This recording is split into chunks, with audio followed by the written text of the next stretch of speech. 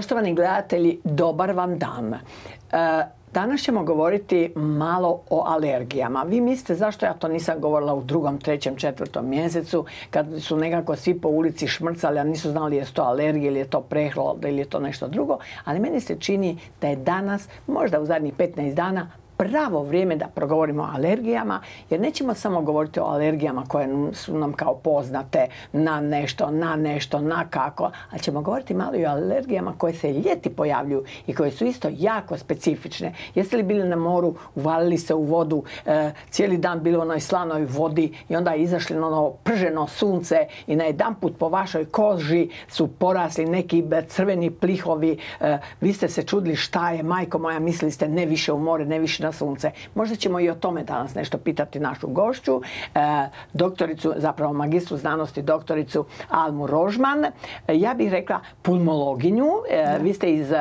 pulmološke, otkud ste?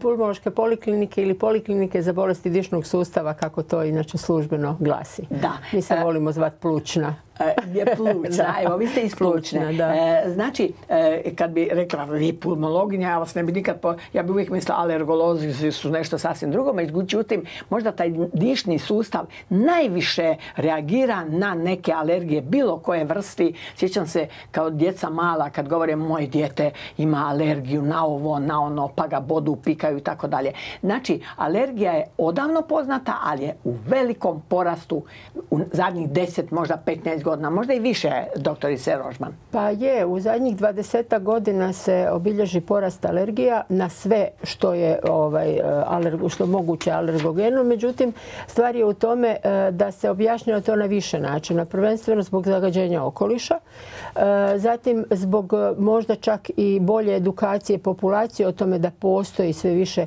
alergena koje mogu izazivati alergiju, ne samo ovi e, alergeni proljeća ili ljeta kao što su peludi, nego su to naravno, to je jedan od starih alergena za koje znamo i grinja iz kućne prašine. Međutim, jako puno ljudi ima i alergiju na hranu koja se sve češće isto tako javlja, koja može biti također povezana i sa alergijom na peludi, a ovaj, znamo da su moguće i alergije na ubode životinja, jel, što je vrlo neugodno, prvo zbog toga što je bolno, a neke, nažalost, ovaj, ubodi mogu biti čak i smrtonosni ako se na vrijeme ne reagira.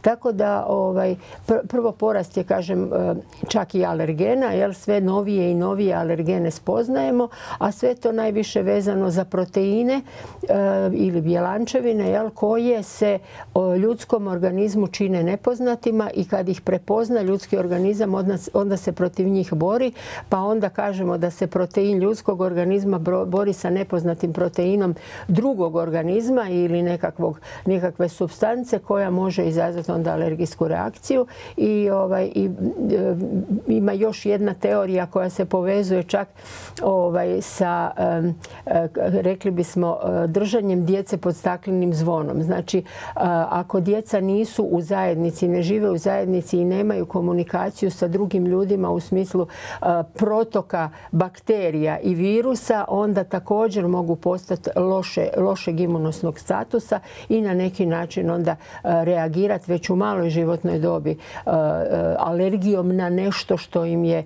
u kućnim uvjetima prisutno. I u stvari na taj način možda stvore imunitet.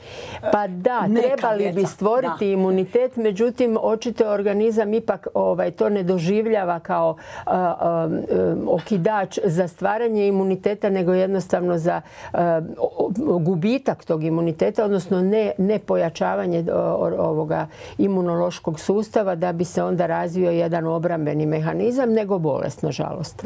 E, ja sam radila u, u bolnici na Velom Lošinju e, i tamo sam se prvi put susrela s jednom teškom alergijom na ljekove. Evo, voljela bi da mi to objasnite, zapravo skoro smo čovjeka izgubili jer zbog injekcije jedne je dobio Da, nažalost. To je moguće. Ovaj, lijekovi su kemijske substance, jel, tako? Nosači ovaj, lijekova su također proteini?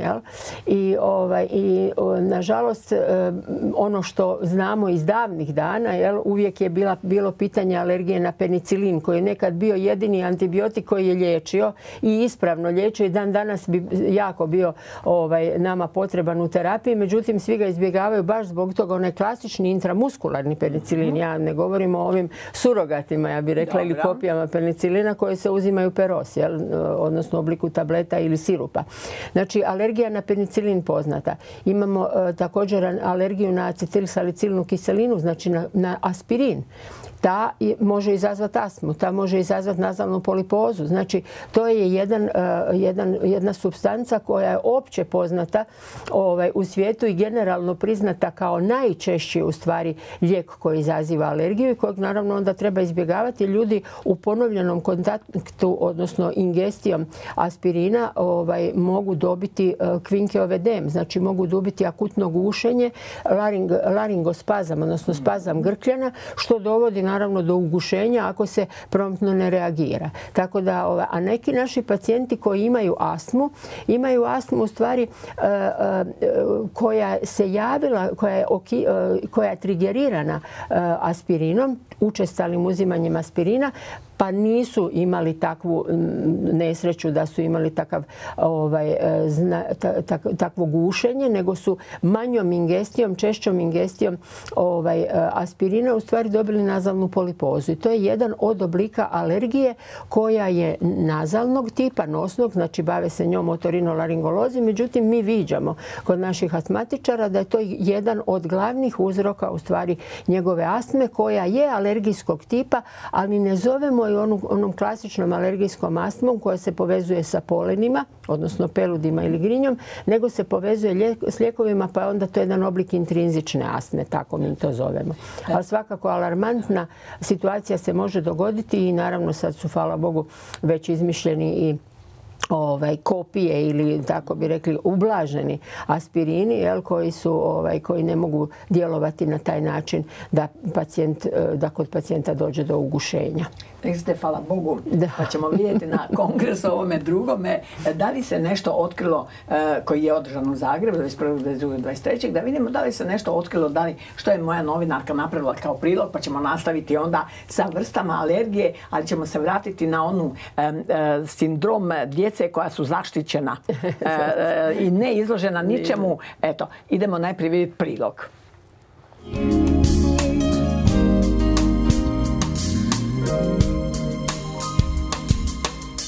Hrvatskoj kao i u svim razvijenim zemljama bilježi se porast oboljenja od svih alergijskih bolesti, a taj trend nije zaobišao ni naš glavni grad. Između 5 do 8% Hrvata boluje od alergije. U gradu Zagrebu se također prati trend povećanja alergijskih bolesti.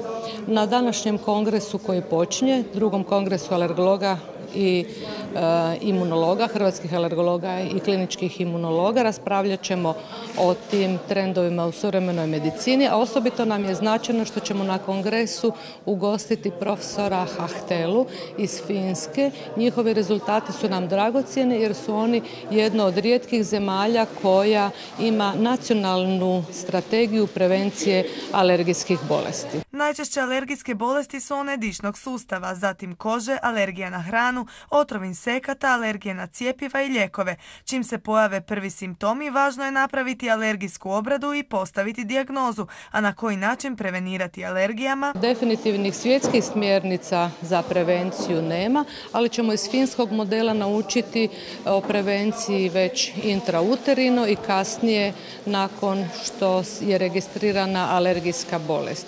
Mjere prevencije mogu uključivati različite oblike prevencije od preporuka za dojenje nakon poroda do preporuka za uvođenjem e, probiotika u prehranu, e, a također i šire primjene specifične imunoterapije. Svakako je važno kod pojave simptoma napraviti dijagnostički, ovaj, dijagnostičku obradu i preciznu, postaviti preciznu dijagnozu da ne bi dovelo do krivih oblika liječenja ili otkrive primjene alergena za specifičnu imunoterapiju. Nakon tog dijagnostičkog postupka e, određuje se opseg terapije koja se primjenjuje medikamentozne i indicira se specifična imunoterapija onih bolesnika koji zadovoljavaju kriterije za primjenu tog oblika liječenja. Postoje razni lijekovi za alergije, no neke se mogu riješiti posebnom terapijom koju ne pokriva HZZO, a godišnje građane može koštati nekoliko tisuća kuna. Međutim, ima jedan problem, a to je posebno kod peludne alergije koja se jako dobro može liječiti još jednom dodatnom terapijom, takozvana specifična imunoterapija alergenima koji se e, bilo u obliku injekcija ili kapi uzimaju, odnosno unose u organizam, čime se postiže tolerancija na umjetni jedan način. Dakle, smanjuje se simptomi, smanjuje se potreba za lijekovima. To je zapravo jedino pravo liječenje alergije. Međutim, nažalost, e, takvi se preparati ne proizvode u našoj zemlji, znači e, moramo se oslanjati na preparate koje proizvode druge zemlje. Važno je napomenuti da se kad kad lokalizirani i opći simptomi alergije razvijaju izrazito brzo i mogu ugroziti život bolesnika. Stoga je važno da se alergija ne zanemaruje i da se svakodnevno brinemo o svom zdravlju.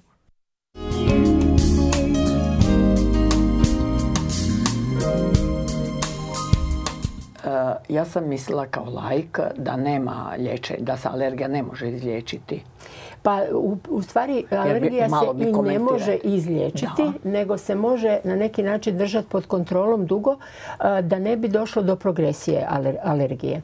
Jer ako je osoba alergična na jedan alergen samo, ona može godinama opet stvoriti jednu specifičnu reakciju na neke na druge alergene. Znači ako se ne poduzme odmah na vrijeme ovo što su kolegice govorile, specifična imunoterapija, onda je, a jedan alergen je uvijek pogodan za specifičnu imunoterapiju, ovaj, odnosno alergija na jedan alergen, ovaj, onda se može s godinama, kažem, razviti senzibilizacija na ostale alergene, što onda naravno nije nikako ovaj, dobro, jer je to progresija alergije, simptomi su onda dugoročno cijelu godinu, tako da ovo što kolegice govore o specifičnoj imunoterapiji, to je terapija koja je poznata od prije.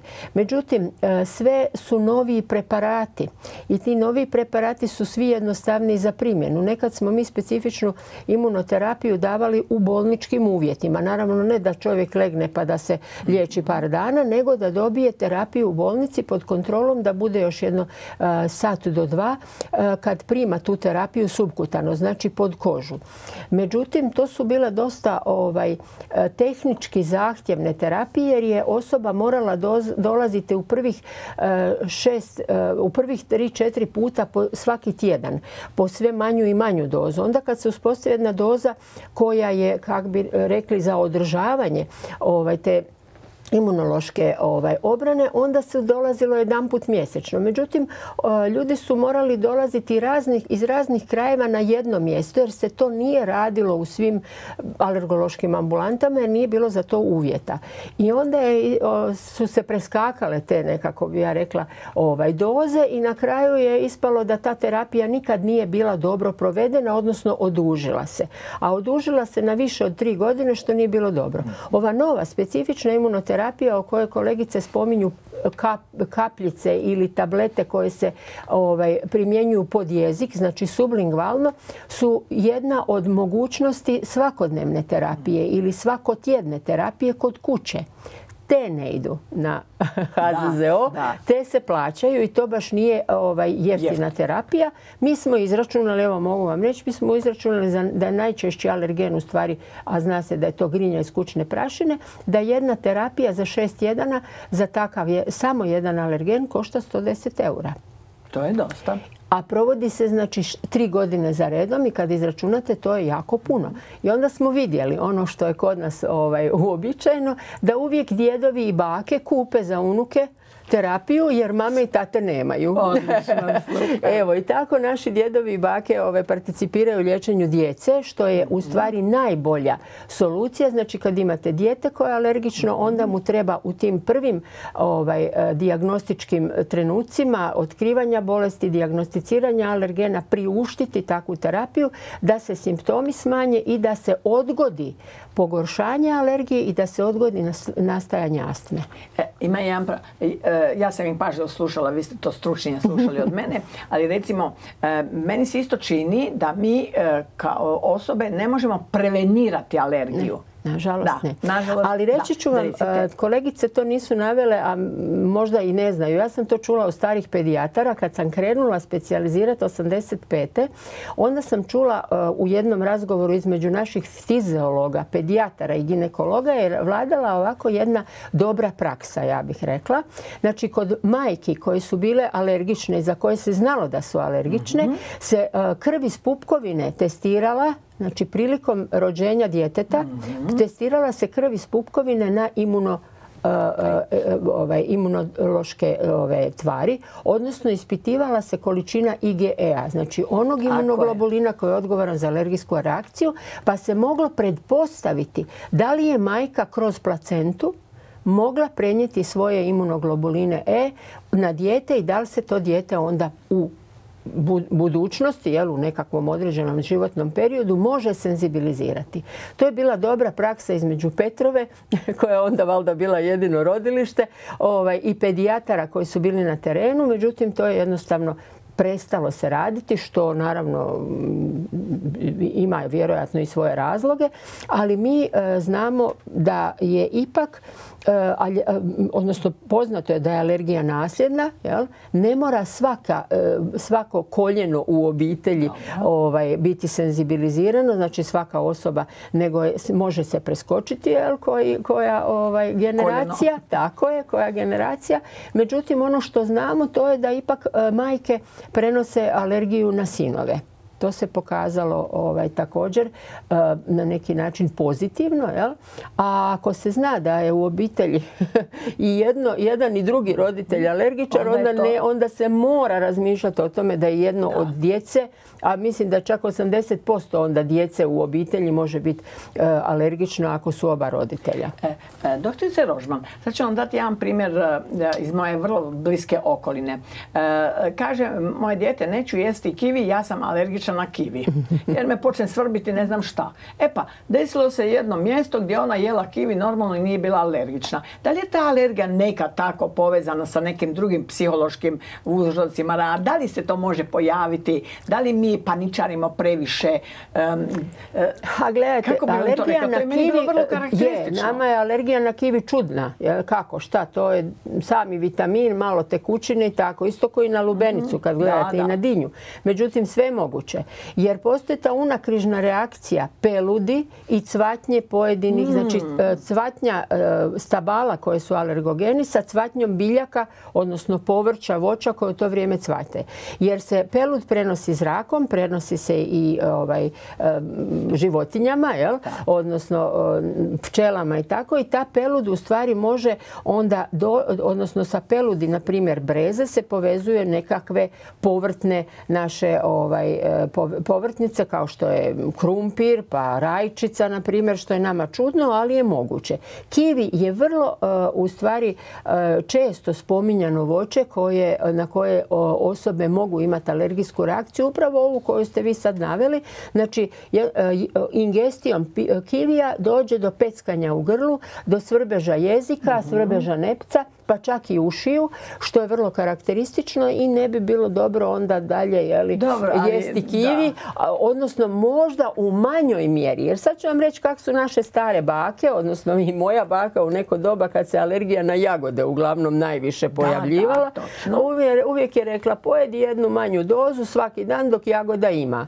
I naravno svi smo bili u urtikama i češali smo se i grebali smo, imali kraste, ali smo jeli jagode i na svu svoju sreću nismo se gušili, ali ovaj, smo se, i hipo, uh, hiposenzibilizirali, ja bih rekla, kroz, tako, kroz male doze.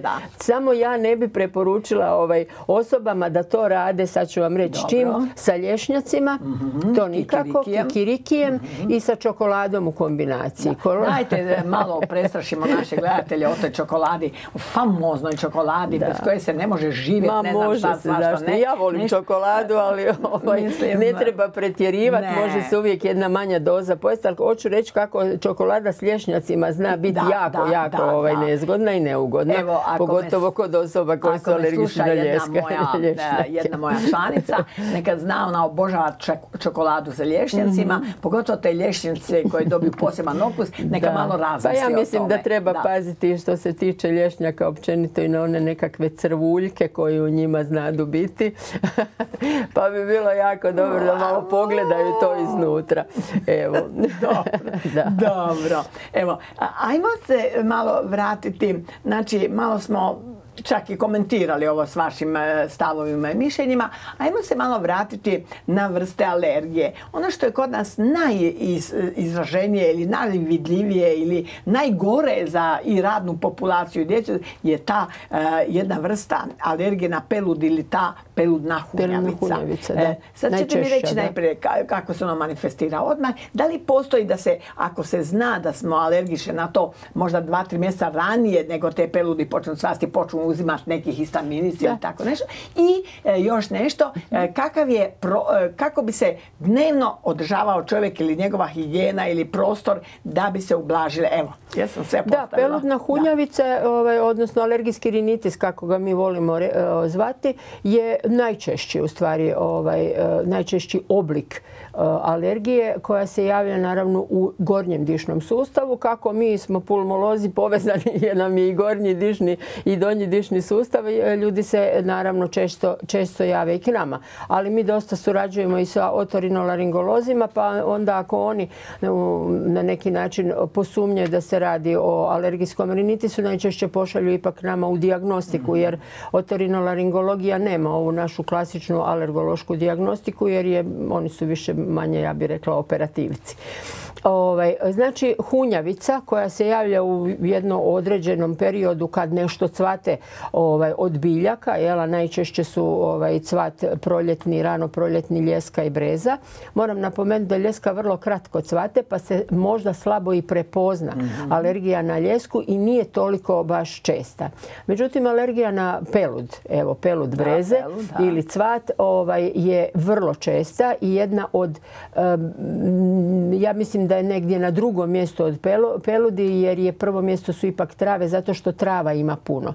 Znači breza, ljeska, e, rano proljeće, onda iza toga trave, evo sad su trave u cvatu, međutim evo iz prve ruke danas nazvah ovaj, ekipu iz ovoga gradskog ureda, e, odnosno Zavoda za javno zdravstvo na Mirogojskoj 16, koji su mi rekli je, jesu cvatu, ali su u umjerenom stupnju znači, cvata. Ne trebamo se, toliko bojati. Međutim, e, ovaj jaki stupanj e, cvatnje ili crvena zona je bila prošli tjedan i predprošli, pa je to vjerojatno ovaj, da su se simptomi javili kod onih koji nisu bili ovaj, zaštićeni. Znači imamo taj kontinuitet polenoze ili polinacije. Iza trava je jedna mala, mali period bez alergogenih biljaka, iako cvatu koprive, mislim da cvate kesten i ovako, a onda dođe u sedmom mjesecu pelin koji opet kod nas ne izaziva toliko alergijsku ovaj, reaktivnost i naravno ona ovaj, javno prozvana najgora od svih ambrozija koja kreće tamo negdje iza gospe. Znači to je nekakav period polinacije od veljače pa sve do kraja desetog mjeseca što kad gledate veći dio godine. Jel? I onda ako je neko ima nesreću da još uz to ima i grinju i skušne prašine onda od desetog mjeseca mjeseca pa do kroz zimu još i s njom se bori.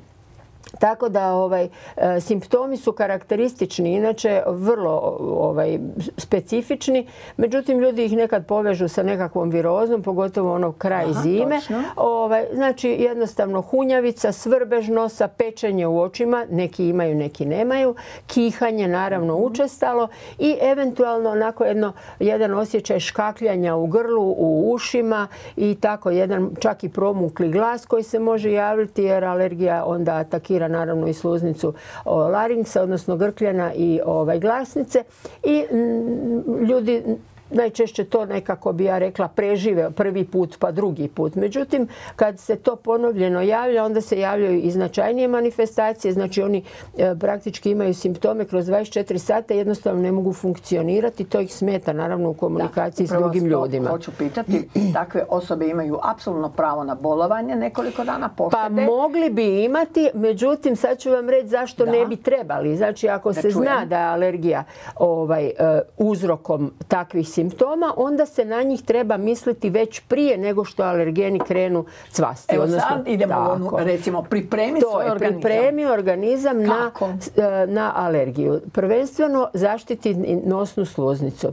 Znači i manja količina alergena, kad mi kažemo one tek u zelenom počeo je cvast, on e, iritira nosnu sluznicu jer kroz nos sve prolazi prema donjem dišnom sustavu. Ako nos nije priređen za takav kontakt, on će odreagirati odmah. Znači i hunjavicom, i kihanjem, i curenjem, i začepljenjem, začepljenjem sinusa, što znači niste ove, prevenirali makar nastanak tih simptoma. Treba, ćete, ali da. moram nešto reći. Ja mislim da obiteljska medicina, liječničko obiteljske prakse mora voditi brigu o svom pacijentu koji je godinama u tima krizama, pa ako pacijent je tako bedac da se ne sjeti, e, mislim da karton postoji.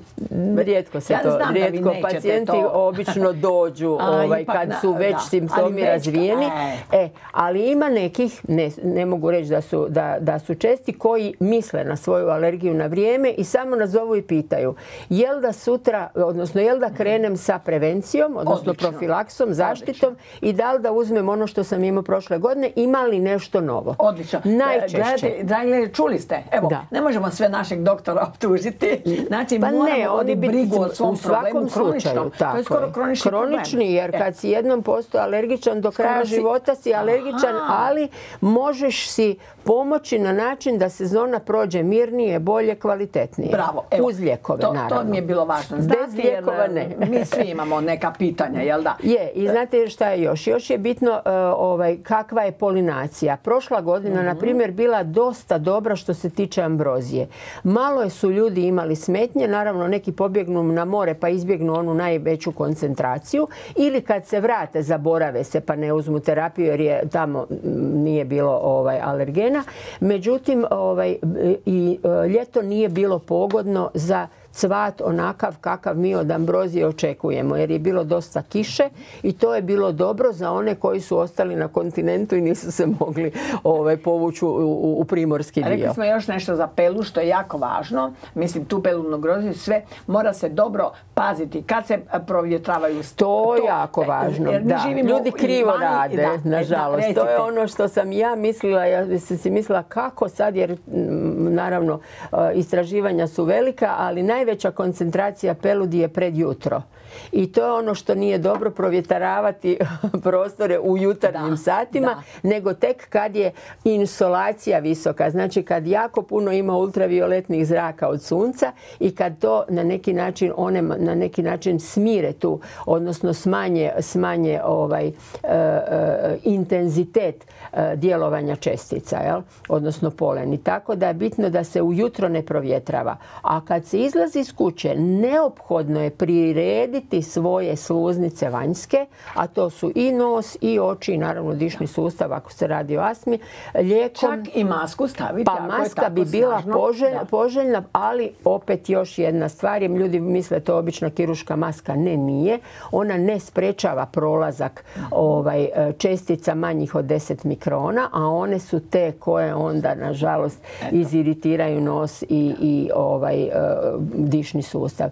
Znači, treba napraviti svoju domaću profilaksu, zaštitu sa uzimanjem, redovnim uzimanjem terapije ujutro, prije izlaska iz kuće. Naravno, da li je to intranazalni sprej koji će smanjiti, koji će u stvari zaštititi e, nos od e, agresije od alergena, naravno očnu sluznicu također. I ono što je u najčešćoj upotrebi, to su antihistaminici. Znači, lijekovi koji sprečavaju razvoj one imunološke pozitivne, a u stvari za organizam negativne reakcije. I svoje tijelo, kad se vratimo kući, očistiti e, od kose do dna, e, čak i cipele, ja bih rekla. Pa gledajte, to je ono što se preporuča s obzirom da se pelud lijepi i na robu i na kosu i treba naravno sve ono što je taj dan bilo na ovaj, osobi oprati i, i ovaj, obući nešto drugo sljedeći dan. Da. Znači, Kosu pogotovo treba puno doprinijeti da imamo manje komplikacija. Svakako, jako puno. Samo ljudi nisu svjesni da je to bitno. Kad im se kaže naprave jednu stvar, mhm. dve ne, onda krive opet da lijek nije ovaj dobar i tako. A znate, još ću vam reći još jedna dosta nezgodna situacija, to je da kad nema polinacije, simptomi nisu izraženi. Mhm. I onda ovaj, osoba misli, a danas ne trebam lijek, sutra ne trebam, ah. tri dana ne uzme, e, četvrti dan onda šta ću sad? Nažalost, kultura nas, pacijenata, je vrlo dan kroz sezonu se mora uzimati terapija, bez terapije nema liječenja. Tako je, tako je. I te banalne, kao to bude banalno je to nije da, puno toga ima što se, s čim se može čovjek pomoći. Točno, eto. Ali imamo isto problem, e, to je recimo e, temporalno, vremenski mm kad je pelud baš onaj, ali vi ste kazali jednom da ima cjelogodišnji alergijski rinitis. Da. To je malo teži To je ta grinja koja nas muči, odnosno muči naše pacijente, jer ona je prisutna cijelu godinu. Najveći, najintenzivniji period kad smo mi u kući, jeli, kad, ovaj, kad smo više manje svi u kućama, jesen, zima, zadržavamo se u prostorijama, ne provjetravamo ih puno, mhm. imamo sakupljače grinja, a to su naravno i zavjese i tepisoni, mm čak i naša postelja jel, mhm. koja onda kod alergičara mora biti prilagođena njegovoj alergijskoj ovaj, bolesti. Znači trebalo bi ju ili E, kupiti antialergijsku e, nekakvu navlaku koja se može s kojom se može prekriti madrac koja se onda može iskuhavati a poznato je da iskuhavanje na 60 stupnjeva ili čak do 100 naravno uništava grinju za jedno određeno vrijeme tako da je bitno da se i na to računa. Grinja je vrlo vrlo ovaj, potentan alergen. Ima je svugdje oko nas i osobe koje su alergične na grinju znači moraju uzimati u tom periodu terapiju. Jako često se razvija alergija alergijska astma ovaj, na, na grinju iz kućne prašine. A ono što smo mi nekad znali testirati i sad se testiraju ovaj, perje, na primjer. Mhm. Međutim, perje ima tu svoju jednu alergijsku specifičnost. Međutim, ono što je bitno, u perju je jako puno grinje jer perje je pogodno za ovaj, život grinje zato što ima tih svojih ovaj, ljuskica proteina gdje se ova hrani. Gdje se, tako je i onda, i onda ona još pustite svoje pipke i tu neku svoju ljepljivu tekućinu koja dodatno jedan ovaj, posebni ovaj, protein. E, tako da je i Per je u stvari alergogeno zbog prisutnosti grinje u njemu. I to je ono što treba jako e, razmišljati jer mi smo nekad znali okrivljavati perine, jel? pune finog perja koje su svih ovaj, jako dobro griju i u zimi, ali je stvar u tome da je e, jako velika koncentracija grinje unutra i onda je to jedan od dodatno još pojačivača alergije na perje, pa onda tako perje više ne bi toliko bilo specifično, ali grinja svakako jako, jako jako ovaj, snažni alergen. Međutim, e, zaista mislim da bi mi trebali malo europejci početi uređivati naše stanove kao japanci. Da, ne treba ni zavise, nikakve, kakve pa gledajte, ja pa se uvijek pitam šta će ljudima zavise, treba ih pratiti. Samo da tako? troše da. novce Pa onda one debele tepihe pa ih treba usisavati. Najbolje nemat ništa ili jednu krparu, kako ja to kažem, koju možete metnuti u, ovaj, mašinu svaki tjedan na oprat na 60 i sigurni ste da u njoj nema grinje. jednostavno živjeti. Je, je, minimalistički. svoj život. E, teretiti se od tih suvišnih stvari koje su nas zagušile po kući i u kući, jel tako? Da, da, svakako. Ja mislim da bi, e, dragi gledatelji, slušajte me, slušajte, doći ćete vi to, na to doći ćete vi na to kad tad, jer ćete reći pa jesam ja lud da prebijam svoja leđa ili e, nemam novaca da platim nekog da mi pomogne, da ja to sve teglim, klofam i tako. Ali manje se toga vidi. Pa Da, Ljudi su možda, malo se možda su ljudi kupili one usisavače koji navodno skupljaju ovaj Sve grinju. se bojim da će sve Međutim, ne bi ja rekla da je to baš toliko, ovaj, toliko efikasno. Kažem, što manje takvih sakupljača. Tako. Naravno, Tako i ovaj, tapicirani namještaj nije Je. dobar jer treba ga izbjegavati, treba kupiti nešto drugačije. Da. I, ovaj, a ono, znate kako ja Da. kažem, ovaj, kad već e, e, ljudi vam koji puta, pogotovo za djecu, žele investirati u to da soba naravno nema takvih sakupljača, onda kaže pa da kupimo novi madrac. Pa nemojte.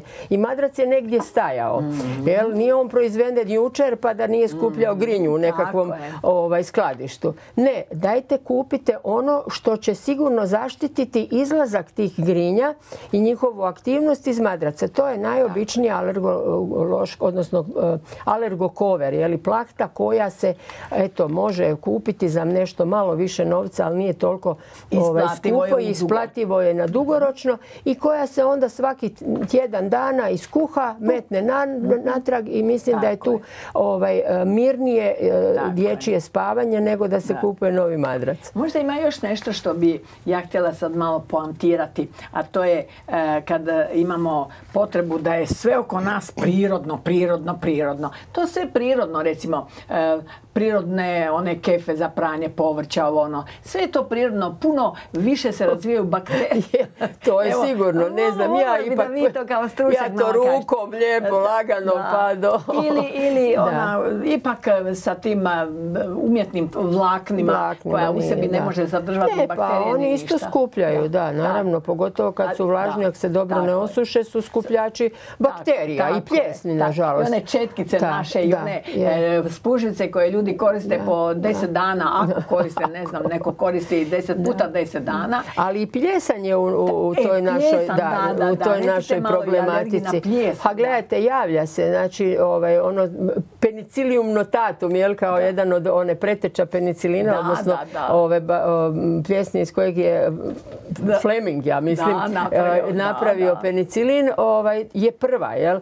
Ovaj, međutim, javljaju se razne pljesni ovaj, u kućama koje nisu dobro provjetravane, gdje ima vlage i tako, a i u ovakvim, eto, eh, četkicama Da, koje se da. dobro ne osuže ili spužvicama, što je također moguće, znači spore ovaj, mogu eh, ovaj, eh, na neki mehanički način Tako bi se reklo da. ovaj djelovati u smislu ovaj iritacije nosne i očne sluznice i ovaj viđamo kod nekih osoba koji žive u takvim uvjetima da ovaj im se pogorša astma kad su uh, kad, su, kad žive u, u kratkoročno ili dugoročno u takvim prostorima i oni sami ulaskom već u takav prostor osjete tjeskobu za dis, u disanju.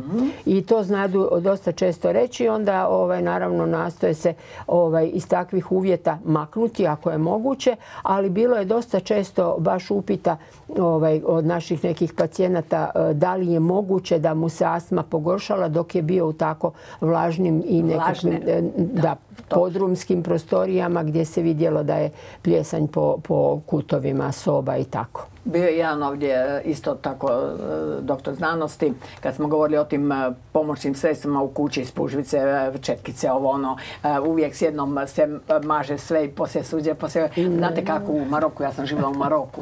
Onda je tu bila higijena na jednoj visini sasvim 55. Znači, najprije po, po, poviše pod, najprije povriže malo pod, onda se digne pa malo one elemente. Da. Kad sam to prvi put vidjela, malo sam se zgro, ne malo, zgrozila sam se, Da. pa sam je zabranila da mi briše bilo šta.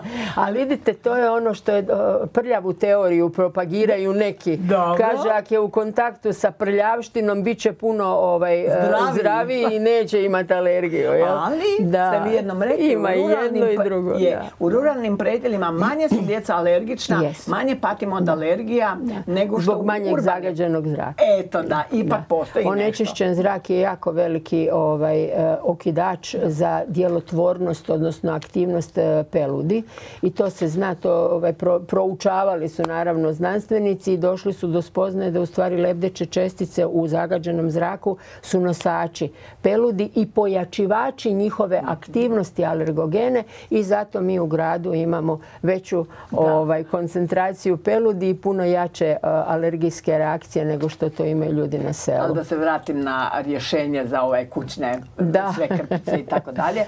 Doktor je kazao da nakon po 24 sata ili nakon dva put po 24 mhm. sata te krpice, te spužvice, te stvari koje se ne bacaju. Na kraju krajeva niko nema toliko novaca da svaki dan ima novu sterilnu, a i ona tamo gdje stoji već se možda nešto na nju navalilo. E, stavi u, e, ili iskuha, mhm. ako nema mhm. ovu, e, kako se zove, pečnica. Mikrovalna. Mikrovalna, pečnica, da, ja to ne koristim nikad, pa ne znam kako se zove. A i tu imamo, da, da, dobro. Da je tako dezinficira ili da je iskuha, normalno i dalje koristi tako zbilja, jer mislim ja, glupo je sada da mi promoviramo odavde, mijenjaj svaki dan spužve ove, Da, to je nemoguće. ono na što sam se ja orijentirala već jako dugo i to je možda preskupo, ali molim, traži se uvijek ovaj, jeftinije rješenje. To su ovi ubrusi, ovi papirnati ubrusi i s njima je najlakše zbilja. Sve obrišete, bacite u smeće, naravno smeća puno, ali mislim da je to najhigijenskije. ovaj, jako rijetko koristim i krpu za suđe. Je, odlično. A na kraju jedna, jedna ni cijeli dan ne može izdržati kad se ovako gleda. I to... Ako ćemo razmišljati duboko o svom zdravlju, to sam mislila. Jednostavno je nemoguće ovaj, s, tim, s tim se služiti svaki dan i pogotovo ne cijeli tjedan. Da. Evo, dragi gledatelji, vi znate da ja iz ove emisije sa mojim gostima šaljem i nekakva rješenja za nas svih i mislim da bi trebali malo razmisliti u kakvom prostoru živimo, da li imamo negdje vlagu, da li se negdje e, kondenzira, ne za, opet ne otvaramo dovoljno pa se pare kondenziraju i opet stvara vlagu, opet opasno za naš dišni sustav. Da li, evo, ja imam običaj da čak i onaj usisi, ono, onu krpu što je vani na, mhm. kako se zove, na ulaznim vratima, nakapam nekad deteričnim uljima da je malo dezinficiram. E, mislim, trebali bi malo zaista istinski pobrinuti o vanjskim i drugim to, to je točno, ljudi malo razmišljaju o tome. Prvo zbog toga jer ovaj, nemaju nigdje, ja bih rekla, ni za pročitati nekakve takve, ovaj, a pogotovo mladi. Znate, kad, ovaj, ako nemaju roditelji iskustva s tim pa im ne prenesu ili ne vide u obiteljskoj kući, onda teško da bi, ovaj, iako internet pun informacija, ali mislim da te e, informacije na internetu nisu baš uvijek ne, ovaj, iskoristive. Čitamo, je, pošto je, je, Nažalost, I, ljudi koji, i vi koji imate puno veće spoznaje nekako, znate nekad krivo nešto jer ste u nekoj svojoj, ali dobro, nećemo sad to jer internet uvijek tu ja plujem. Nekad pomogne. Da, nekad pomogne. Evo, idemo mi dalje na našu, e, spomenuli smo jel da kućnu pra. Ne, zapravo, e, rekli ste uđe u prostor i odmah osjeća da nešto nije dobro. A kad ono, pas, mačka, da, ptica. Da, to su e, ovako. Prvo dlaka je proteinski mhm. nosač proteina, dlaka životinja, a drugo i također sakupljač grinja. I to je onda dvostruka jel, alergijska Kako da ja svog mačka dezinficiram da ga e, Mačak se ne da prati. Jel? Mi imamo jednu jako zgodnu sličicu koju smo pokazivali našim pacijentima kad smo prije radili škole disanja i kad smo ih educirali grupno. Sad to radimo individualno. Pa smo pokazali jednog mačka koji se da oprati, koji se tušira. Da. Pa smo rekli da taj zbilja ovaj, radi sve da ostane u kući i da se umili gospodaru koji je alergičan. Za psa se je poznato da se on voli oprati, iščetkati, tako, tako za mačku ne. Ali e, bitno je u stvari da makar životinje onda, ako je dijete, na primjer, alergično, ne borave u dječjoj sobi u kojoj dijete spava. Jer ipak za vrijeme sna, odnosno e, za e, spavanje jedan period, bar pola dana, ja bih rekla. Jer pola od 24 sata, pogotovo za djecu. Tako da to ne bi bilo dobro ovaj, da e, ovaj, životinja boravi u dječjoj sobi. Isto kao što nije dobro imati plišane igračke kod djece za spavanje. Tako, Može ih se, naravno, može ih se zamrznuti u zamrzivaču. Evo, evo, to pa, ovaj, da, pa onda promijenimo ovaj, par ovih novih se metne, a one druge se zamrznu i tako. znači imamo arsenal tih ovaj, da, da, život ovih igračaka koje se mogu zamrznuti pa se onda mijenjaju. Jel? Da baš im ne oduzmemo sve i da se baš ne mora igrati sam sa nekakvim gumenim koji ja mislim da čak više i nema ovaj starinski način ovaj, izrade ovih ovaj, igračaka ne postoji više. Osim drvenih, ali to su, ja gledam baš dosta teške, evo ja iz iskustva ko baka mogu reći ne dajem još ovim malima drvene igračke u ruke jer su prvo su teške kad im padnu na nogu oboli, a mogu i razbiti nešto. da, tako da je to isto tako. Evo.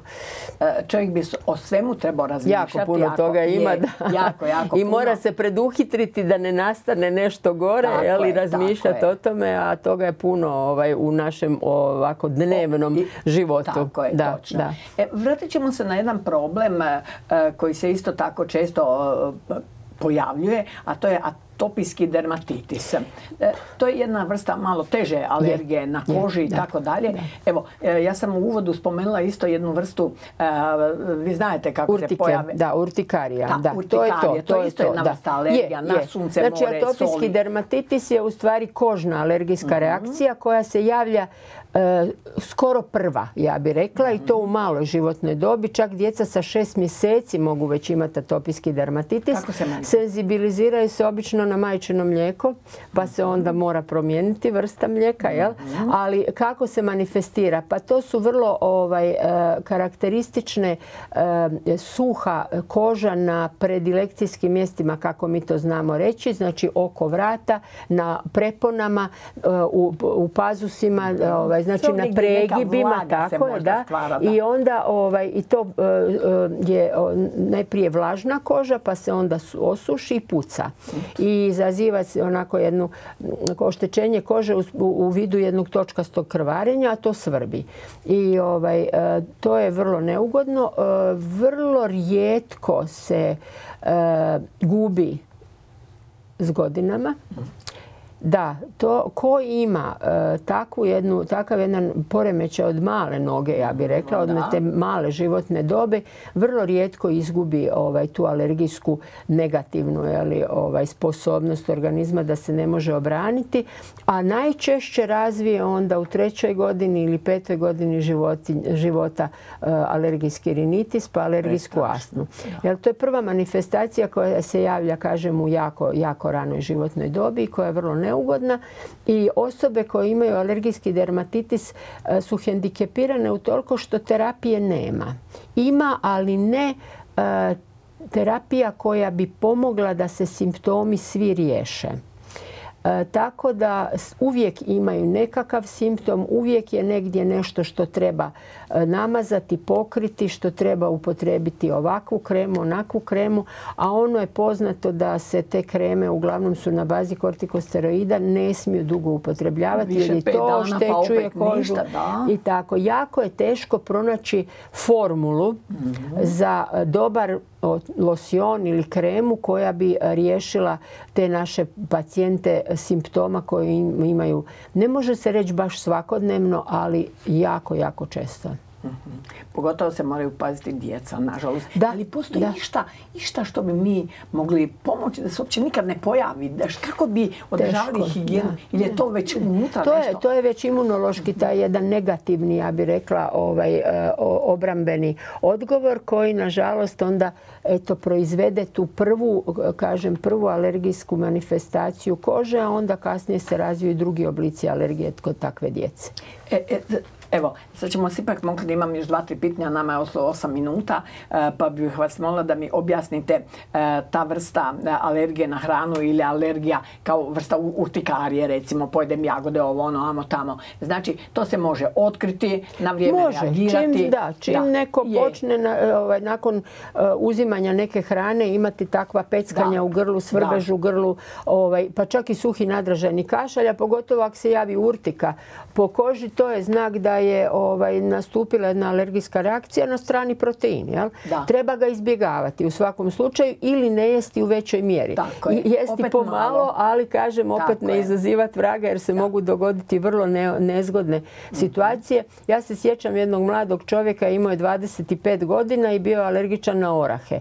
I zbilja je pazio da ništa ne pojede i jedna gospođa kod koje je bio ga je uvjeravala da u tom kolaču, da u toj piti od jabuka nema oraha, ona ipak ipak metnila tek toliko da posipa i on je završio s Kvinkeovim edemom, nama došao u bolnicu, gušio se Kvinkeov edem. Znači to je laringealni otok, odnosno otok Grkljana koji je u stvari ono, alarmantan i tako je. Može, može pacijent umrti u, gušenju, a da ovaj, eto nije kriv bio on, nego gospođa koja ga uvjeravala da nema oraha i rekao da. nikad više nikom neće vjerovati. Naravno, mi smo ga ovaj, oživjeli, odnosno nije bio baš u tak strašnom stanju, ali da nije došao na vrijeme svašta bi se dogodilo.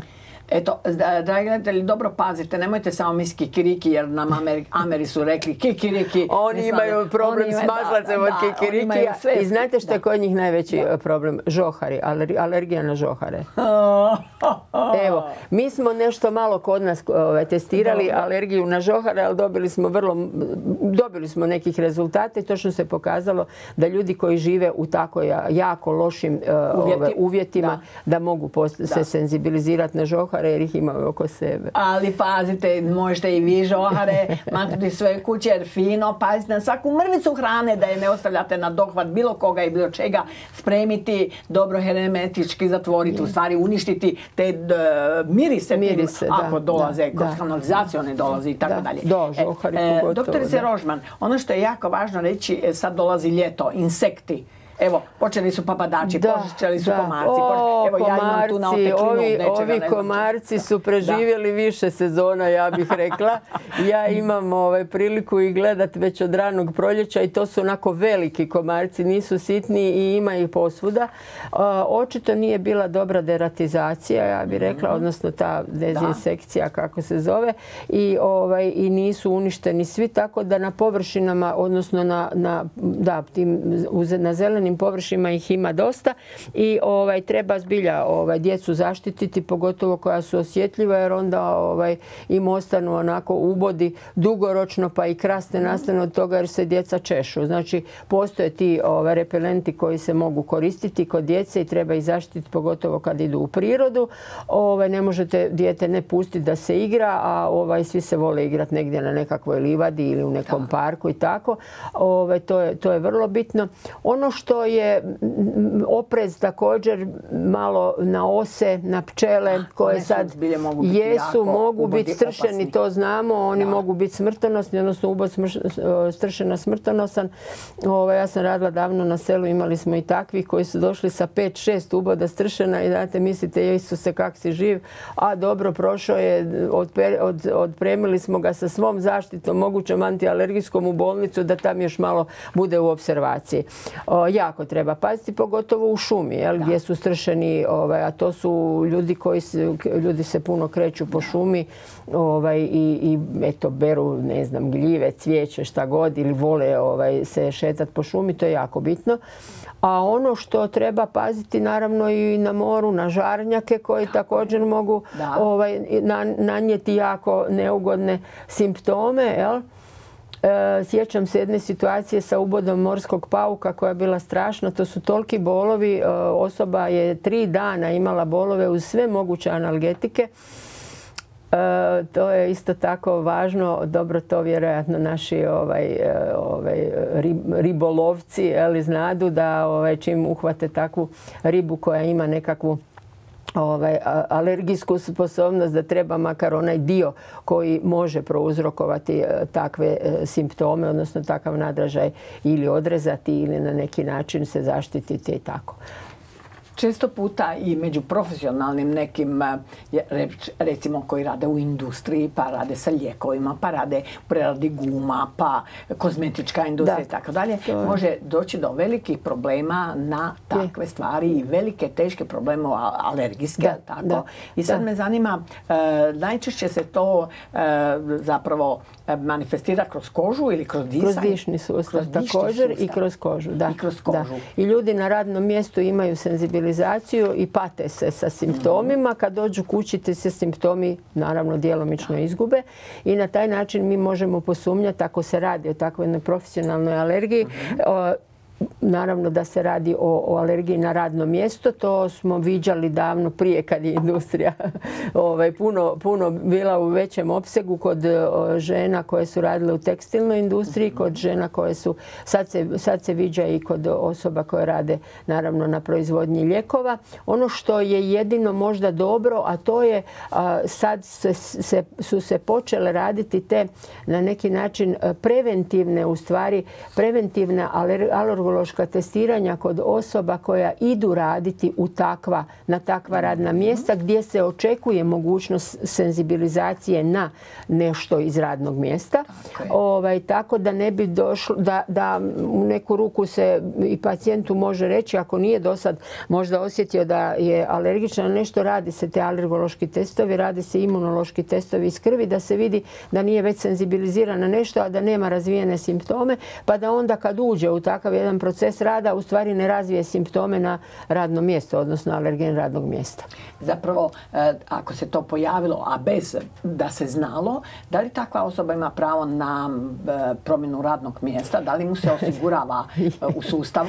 Da, trebalo bi, međutim, kod nas sad više nema takvog radnog mjesta. Prvo, nema radnih mhm, mjesta, ja bih rekla, a drugo, nema takvog radnog mjesta gdje ga vi možete ovaj, preseliti da on nije u kontaktu sa ovaj, radnim okolišem. Jel?